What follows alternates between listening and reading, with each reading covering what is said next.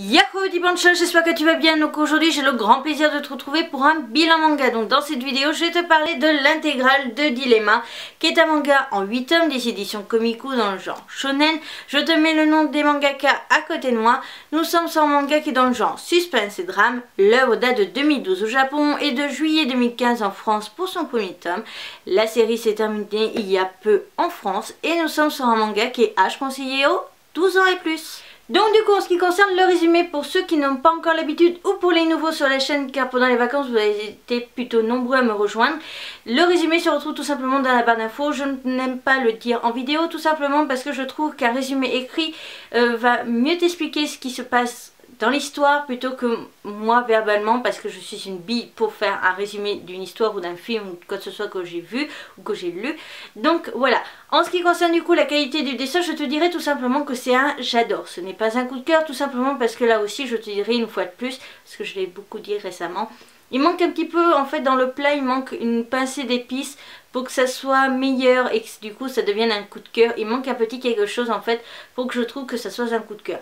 Mais c'est quand même un j'adore énormément et tu vas voir tout à l'heure que la note elle est quand même correcte au niveau de la note totale pour la qualité du dessin.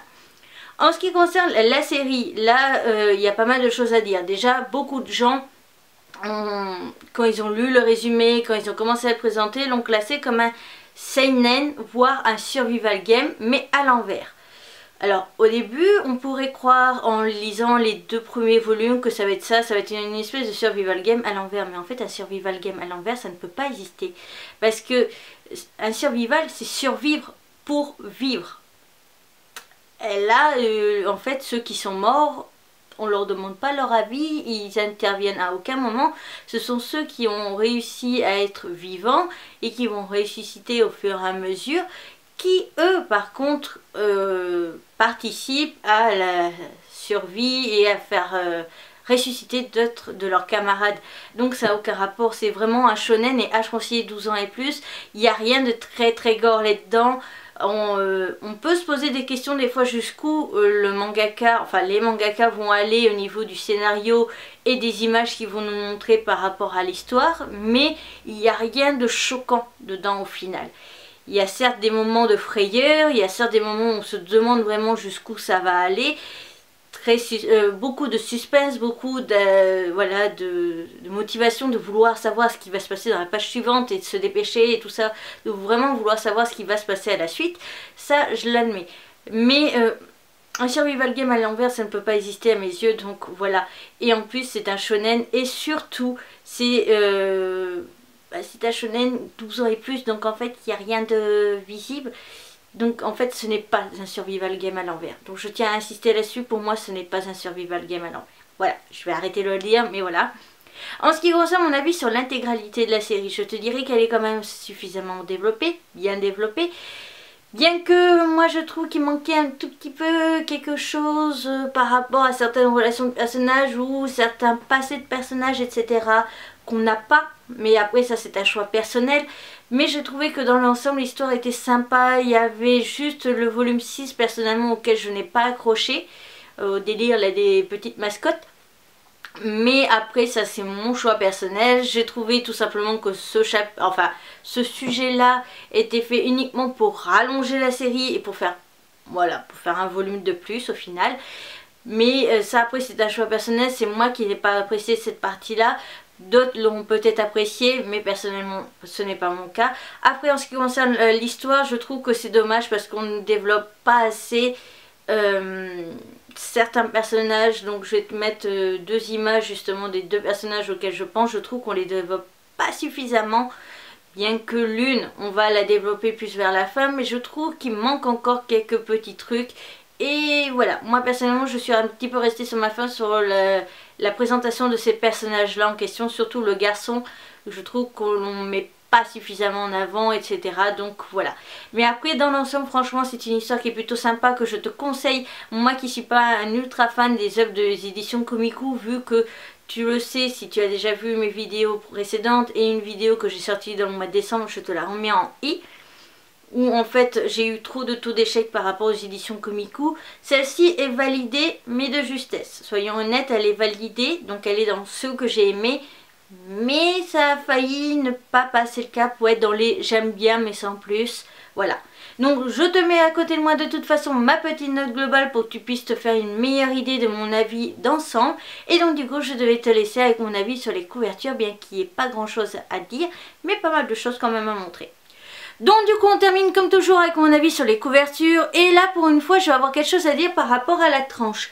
Donc on remarque de loin que tout est basique, tout est pareil, sauf ici en fait où on a à chaque fois une image d'un personnage. Les personnages du coup, les 8 personnages les plus importants de ce volume. Bien que celui en numéro 4 ne soit pas spécialement important, pas tant que ça par rapport à toute l'histoire, mais quand même, et puis c'est un personnage que l'on rencontre du coup dans le volume 4 il me semble, donc du coup voilà ils l'ont mis en avant aussi pour ça. En ce qui concerne les couvertures, on va avoir à chaque fois le même principe au niveau du rendu. Donc le titre, une image, à chaque fois du texte par-dessus. À l'arrière on a le résumé en haut. On va avoir pareil une phrase clé par rapport au livre et une image un petit peu clé par rapport à, je crois même euh, par rapport aux dessins qui sont mis en fond. Donc voilà. Personnellement je n'ai pas lu les, les lignes là qu'on voit en gros et tout ça. Je n'ai pas fait attention aux détails parce que j'avais l'impression que ça spoilait plutôt pas mal donc, je vais rester assez vague hein, par rapport à tout ça, comme ça, ça évitera que tu puisses voir, par exemple, de trop près les images là, et donc du coup que ça te raconte un petit peu ce qui va se passer dans le volume. Donc du coup, en ce qui concerne l'avant, au départ, la première jaquette m'avait vraiment tenté à cause de cette image assez euh, particulière, et euh, même la phrase, pour une fois, je l'avais lue, là, de, devant, et donc du coup, j'avais plutôt apprécié, je trouve ça sympa, en plus, à chaque fois, là, on a c'est une petite phrase en bleu qui a un rapport avec le euh, manga et tout ça. Donc c'est plutôt pas mal. Donc voilà. En ce qui concerne du coup qu'on enlève la jaquette, sur les bords on n'a rien et de ce côté on a la présentation du coup de nos deux mangaka avec une image qui est censée les représenter. Enfin il y en a un c'est une tasse et l'autre euh, c'est une casquette de vis qui sert de pour faire les yeux et euh, j'appelle ça un resserreur pour, qui sert soit de bouche, soit de moustache, je sais pas. Enfin bon, voilà. Là, à chaque fois, on a exactement la même chose. Je vais mettre ma main au milieu, tout simplement histoire de te censurer un petit peu les dessins pour pas que tu les vois trop. Parce que sur la couverture en couleur rouge, on voyait pas trop bien. Là, on voit beaucoup mieux, donc je préfère te mettre une main devant. Tu verras quand tu liras ou tu ouvriras les mangas. Et voilà. En ce qui concerne du coup la page de chapitre, elle est plutôt jolie. Et on commence comme ceci du coup avec le sommaire, pareil écrit en gris foncé. Enfin je dis pareil parce que j'ai présenté il n'y a pas longtemps plein de mangas comme ça où les jaquettes étaient comme ça. Donc du coup en ce qui concerne les pages de chapitre je vais t'en montrer une comme ça juste pour que tu puisses voir. Donc en fait on a deux choses à l'intérieur pour euh, séparer les chapitres.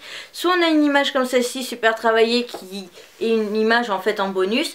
Soit on a directement la page en fait où on doit la lire la page à lire de, base, où il y a juste écrit en dessous euh, chapitre, euh, chapitre 2, chapitre 3 et le nom du chapitre, etc.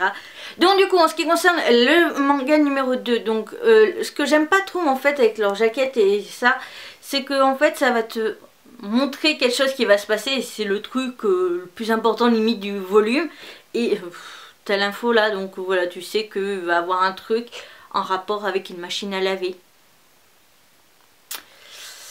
Moi je suis pas trop fan de ça, de ces jaquettes là parce qu'elles sont vraiment trop, euh, je raconte ce qui se passe. Donc pareil, une photo de l'auteur, hein, voilà, un petit mot, une image de chapitre avec toujours notre héroïne. Donc par contre ce que j'ai adoré dans Dilemma, surtout qu'en France du coup on a eu un rythme de parution très très lente, c'est qu'on avait du coup un résumé des personnages et un résumé de ce qui s'est passé dans le volume précédent. Donc ça c'est plutôt pas mal. Et euh, Donc là je fais exprès d'être si loin tout simplement pour que tu ne vois pas grand chose mais que tu vois quand même ce que je veux te montrer. Donc dans la fin du volume 1 on était en plein milieu d'une partie d'un jeu du coup, d'un dilemme et euh, on a un résumé des règles du jeu en cours. Donc ça j'ai trouvé ça plutôt sympa. Voilà. Je vais pas aller plus loin, il n'y a pas grand chose à dire. Euh, à la fin du coup on a droit à la postface et surtout, on a droit à euh, ceci. Je trouve ça intéressant. On a des petits croquis des personnages qu'on a rencontrés, etc. Des petites présentations des personnages aussi. Voilà. Hop.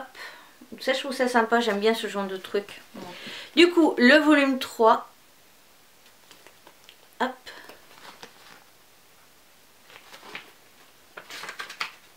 Donc toujours la même page de présentation vu qu'on n'a que trois personnages vraiment importants pour l'instant dans cette histoire. Donc du coup on attaque avec le volume 4, j'ai vraiment rien à dire par rapport aux jaquettes parce que je les aime bien mais pas tant que ça parce que je trouve qu'elles montrent trop en fait, elles sont trop révélatrices par rapport à l'intérieur du volume donc j'ai été vraiment déçue. Donc là on voit bien que plus on passe de volume, plus le résumé est important. Donc ça c'est plutôt sympa parce qu'il y a des mangas des fois où on a un résumé assez court, là non. Et toujours, voilà, je sais même pas pourquoi j'ai montré mais bon. Le volume 5 du coup qui est ma jaquette préférée, parce que je la trouve très très jolie, voilà. Donc du coup le volume 6 que je n'ai pas spécialement aimé, voilà. On change enfin de personnage pour euh, la première page. Le volume 7, avec un jeu que j'ai adoré. Et on termine du coup avec le volume 8, donc une jaquette que j'aime bien. Au niveau de l'avant, je l'adore. L'arrière, j'en suis toujours pas fan. La vidéo est à présent terminée, j'espère de tout mon cœur qu'elle t'aura plu. Si c'est le cas, n'hésite pas à mettre un petit pouce en l'air. On pense à aller s'abonner, c'est rapide, gratuit, ça me ferait extrêmement plaisir. N'hésite pas du coup à me mettre en commentaire si tu connaissais cette série ou absolument pas, si je t'ai donné envie de la lire ou pas du tout. Et n'hésite pas à me dire toi si tu as lu cette série, ce que tu en as pensé. Et euh, j'envoie un petit message à tous mes collègues youtubeurs qui euh, et youtubeuses qui regardent mes vidéos. Je vous invite vraiment à donner votre avis sur la série Dilemma en commentaire. Voilà, donc j'espère que cette vidéo du coup vous aura plu dans l'ensemble. Je vous retrouve bientôt pour une nouvelle vidéo. Et par contre, je ne vous retrouve pas du tout tout de suite pour un nouveau manga des éditions Komiku. Et ça, vous le savez. Sur ce, à bientôt